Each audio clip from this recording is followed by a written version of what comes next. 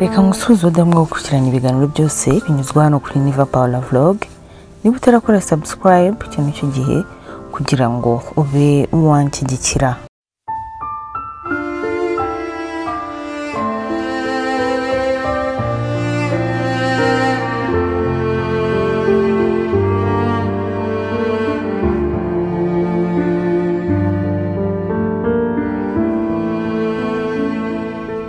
tumaze iminsi rero navuga ko tutari kuvuga bitewe n'uko twatangiye iminsi mikuru turi mu bintu byinshi bigiye bitandukanye ariko byari ngombwa ko muri ku gutangira kwa kabiri kwa kabiri ni ukwezi kuri kubamo umunsi wa sevalante ukwezi kubamo ibintu byinshi navuga ko ari ukwezi kw'abakundana.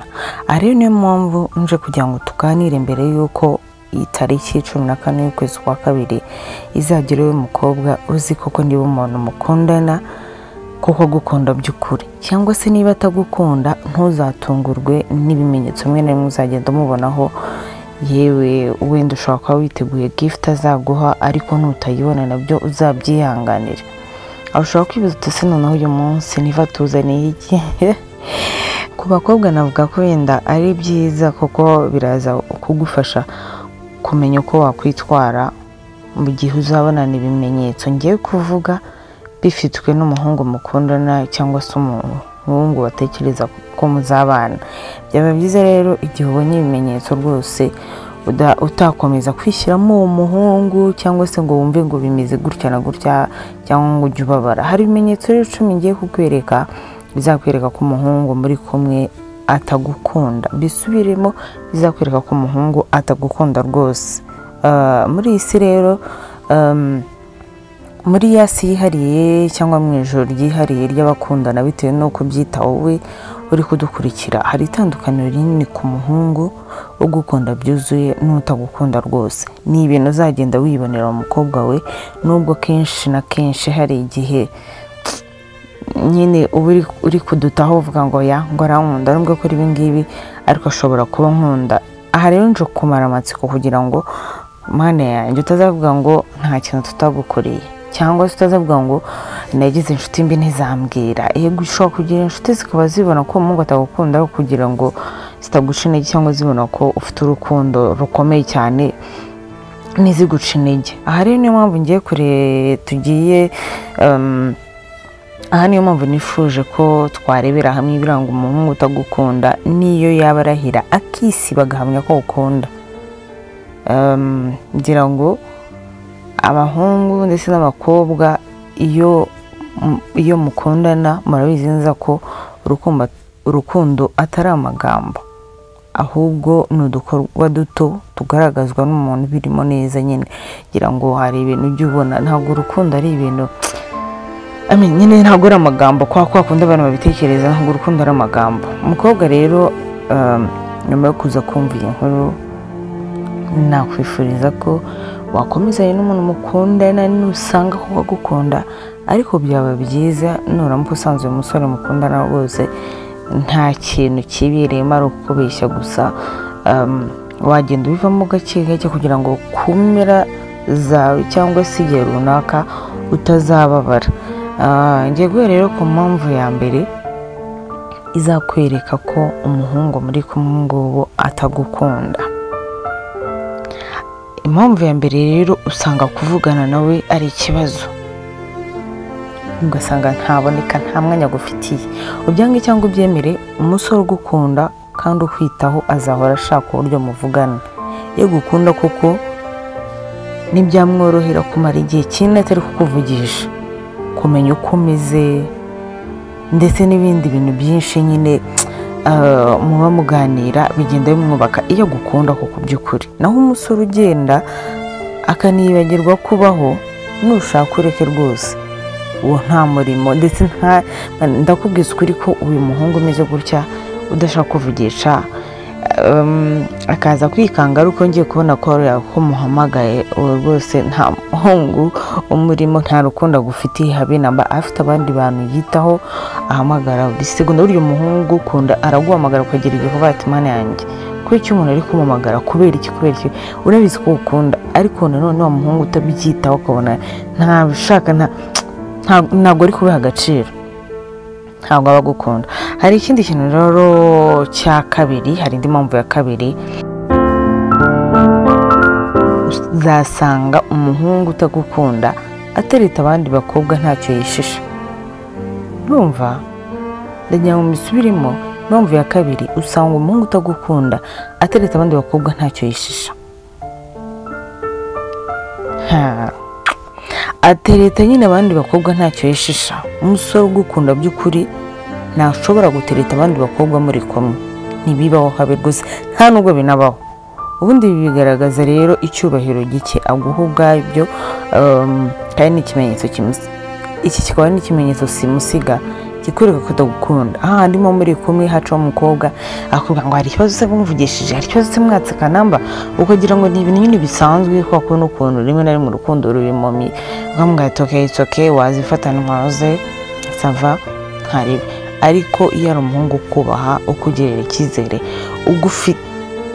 ugufite nyine muri fiyuca ye ntabwo ashobora kugukorera ibi bintu mu maso yawe.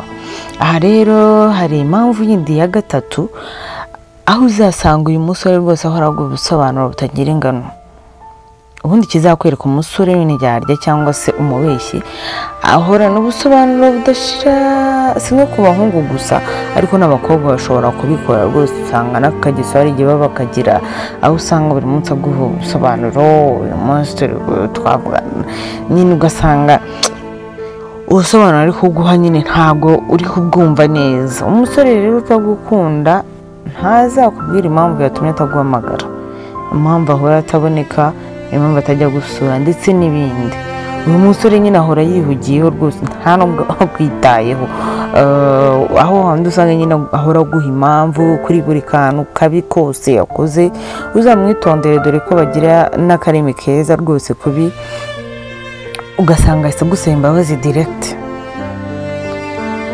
kuko gusaba imbabazi ni hahandi uwo mukobwa wawe uhita ati yo disi wanjye arankunda gute se ansaba imbabazi abandi birabagora n'iki n'iki. Ikibi rero cy'abasore nk'aba ni hahandi rero ntibajya bisubiraho.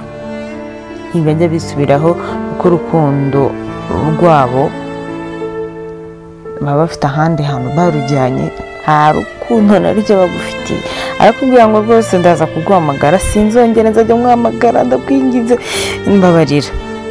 Ariko rwose ejo n'ejo bundi icyumweru kigashira akazongera kuguhamagara cyangwa se akitaba ari uko agize imana nawe ukamuhamagara. Ikindi umusore utagukunda uzamumenyera kuba adashaka kumenya byinshi kuri wowe. Kimwe mu bigaragaza ko umusore agukunda ni uko ahorana amatsiko yo kumenya isi yawe aho wiriwe ku kazi ese byagenze biti akamenya byinshi kuri wowe byanamukunda rero akamenya byose byose udatekereza ko yaba azi ikinyuranyo rero cy'utagukunda birumvikana niba atagukunda ntazagenda ashyira imbaraga mu gushaka kumenya ibigukubiyeho cyangwa se ibikwerekeyeho kuko nta n'icyo yabimaze rwose nta n'ikintu biba bimumariye. Ntabwo aba yumva ndaza kumenya ngo umukobwa ze ngo abayeho gutyo biraza kumfasha iki? Ntabwo yumva ko biri necessary kuba yamenya nyine uko ubayeho ku buzima bwawe bumeze. Ntabwo biba bimureba. Akubwiza uriho ntabwo biba byitaye niba ugerageje gushaka kubivuga ngo ngewe ahita ashaka ikindi kintu muganira kuko rwose ntabwo aba akwitayeho.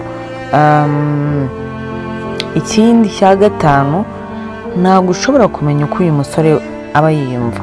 Umusore utagukunda biragoye ko yagufungukira ngo akwereke ibyiyumvo bye. Bimuriho kuko ntiyakwereka ko abyitayeho.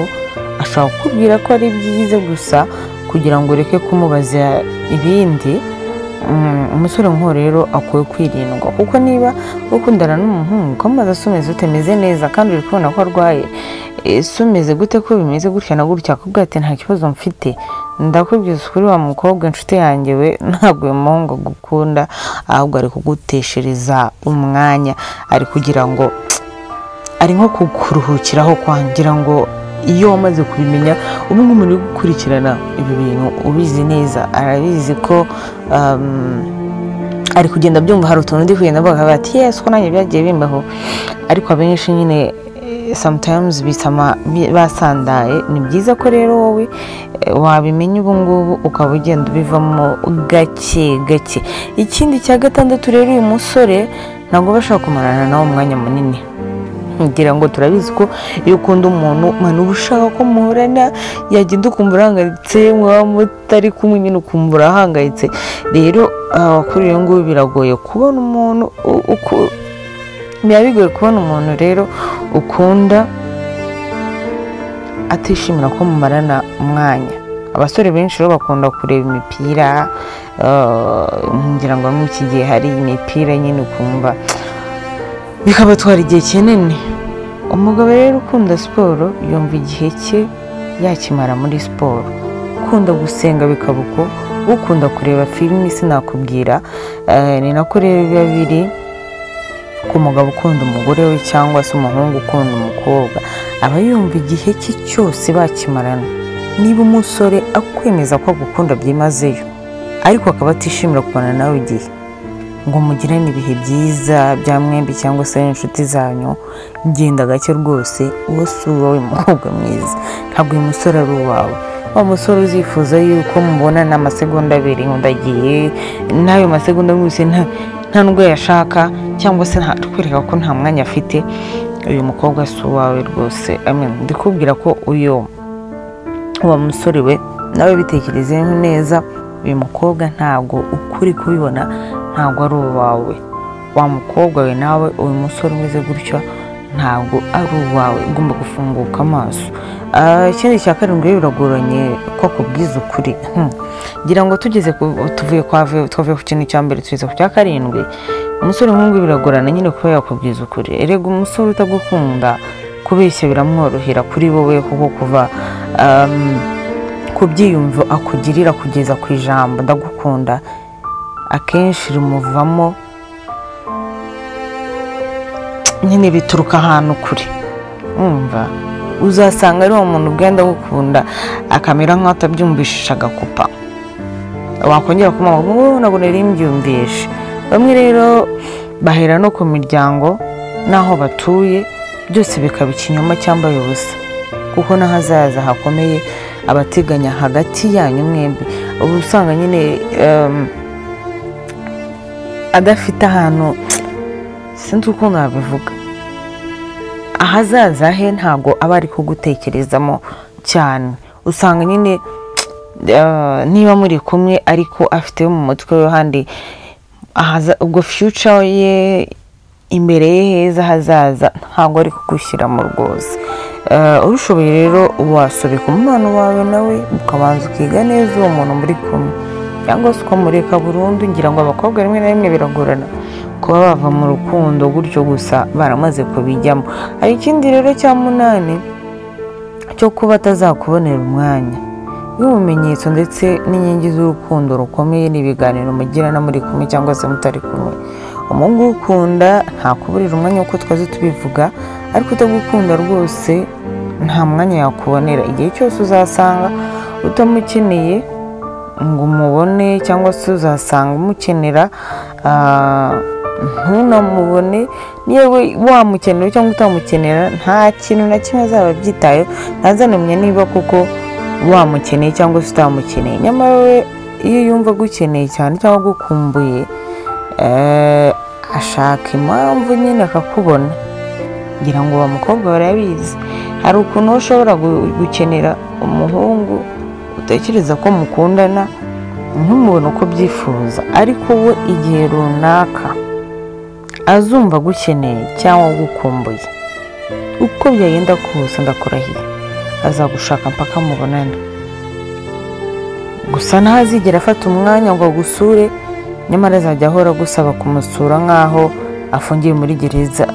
Itamwemerera kuba yasohoka cyangwa se mu bitaro bitam- bitamurekura ngira ngo ahangaha iyi ngingo irumvikana cyane ku bakobwa ngira ngo barabizi cyane. Hari igihe uzasanga umuhungu rwose ntashaka kumenya iwanyu ntashaka kumenya ntashaka ntashaka ntashaka ariko igihe cyose yumva agukeneye akumva ko ugomba kuba uhari kandi buri gihe akumva ko ari ugomba kumusura aho adashaka kugera iwawe cyangwa se atagomba kugera iwanyu. Uyu musore rero wamwitondera wa mukobwa we kugira ngo uzabashe kugira iherezo ryiza mu rukundo. Ikindi cya cyenda rero ntabwo uyu musore azigera ahisha umujinya we muri kumwe. Ku bantu benshi usanga biba bigoye guhisha amarangamutima iyo yaje ko nyine ibyiyumvo mvamutima nyine akenshi bikunda kugaragara. Ariko mu rukundo burya umukunzi ni umuntu ukomeye kandi cyane. Niba umusore bimworohera kurakarira mu ruhame. Akaba yanagukorera ikintu kibi kigaragaza uburakari muri rubanda. Utekereze kabiri kuko uyu musore rwose ugerageza akaba yashaka kwerekana kamere ye imbere yawe cyangwa se n'abandi bantu muri kumwe. Ntabwo rwose uyu musore ari uwawe. Hari ikindi rero cya cumi ari na cyo cya nyuma. Ari na cyo kibabaje ari na cyo abantu benshi badakunda kubona. Cyangwa se wanakibona ukavuga ati ibi ni urukundo rubimukoresheje. Ahangaha ugomba kucyitondera iki kintu cya cumi rero impamvu ya cumi izakwereka ko uyu muhungu atagukunda. Burya umusore ugukorera ibintu byose. Nubitekerezaho uzasanga atakubaha. Iki rero ni ikintu ugomba kwitaho kandi na cyo cya nyuma. Nubwo atari umusozo wa byose. Iyo tuvuga rero ko atakubaha haraza kumvikanamo byinshi bitandukanye. Umusore ugukunda arakubaha akanakubahisha aho mwaba muri hose. Akugirira ibanga ntaguhereza urw'amenyo ndetse nta nubwo atuma abantu muri kumenya ibyabaye. Ahora nyine aguhishira. Ariko se umusore utagukunda ibi yabikora? yaba se ashaka kugera ku ki yaba se aharanira iki? Kuba afite nyine ikimugenza iyo rero amaze kukigeraho agufungurira umuryango akagusaba kumwereka umugongo watinda akakwereka ko nyine utari umuntu cyangwa se akakwereka mu bworo bw'ikirenge cye ubworo bw'ikirenge ngira ngo muzi ahantu buba. Rero kugira ngo umusore akwereke ibintu ari ibintu nyine bidasanzwe. Handi akubwira ati biravuze ngo mbare rimwe kabiri gatatu. Wasohotse wagiye. Kubanza kugira ngo n'imikino. Ndavuze ngo ukubanza kugira ngo n'imikino. Aho rero gutinda. Niyo handi azakora bya bintu. Ukabikorera imbere y'amaso y'abantu cyangwa se imbere yawe nawe. Byaba byiza. Uyu musore niba ko ubona ameze gutya. Ibintu byose twabuze kugera kuri cya cumi. Aho kugira ngo azarinde kwereka mu bworo bw'ikirenge cye wakuramo aka karenge ukigendera. Ibikorwa byinshi rero bitanavunanye. Umusore azakora kubera urukundo gukunda wa mukobwa we. Mu gihe uhita ko mudakundana hari ibikorwa byinshi rero bitanavunanye. Hari ibikorwa byinshi bitanavunanye rero umusore azakora kubera urukundo agukunda. Cyangwa se akunda umukobwa mu gihe uwo witwa ko mu gihe rero uwo wita ko mukundana akora ibi bintu twavuze haruguru ndetse n'ibindi tutavuze. Ntazaba agukunda.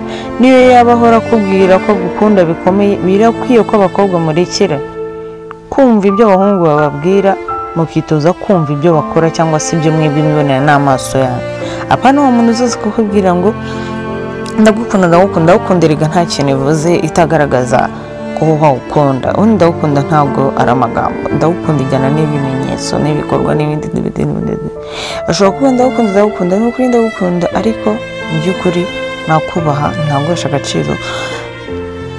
Ashobora kugutereteraho undi muntu akakwereka ko nta kintu bitwaye. Ahangaha wa mukobwa ugomba kwitonda.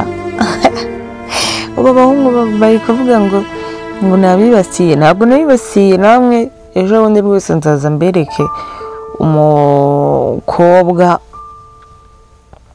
utabakunda. Ibimenyetso na byo bimuranga kugira ngo buri wese abashe kumenya. Isi bimeze biti isi bimeze biti kugira ngo mubashe gutandukana ku neza cyangwa se ubashe kurekera ubashe no kubyikuramo hakiri kare. Reka rero ntanagushimira iyo wafashe umwanya ukumva ikiganiro cyose kuva ku munota wa mbere kugeza aho dusoreje.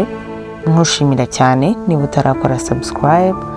Iki ni cyo gihe rwose kugira ngo ube wanshyigikira ujye ubasha kugenda ubona ibindi bintu byose binyuzwa hano kugira ngo ntabwo uzigera wicuza igihe cyose uzaba wakoze subscribe like ndetse na share. Ndabakunda cyane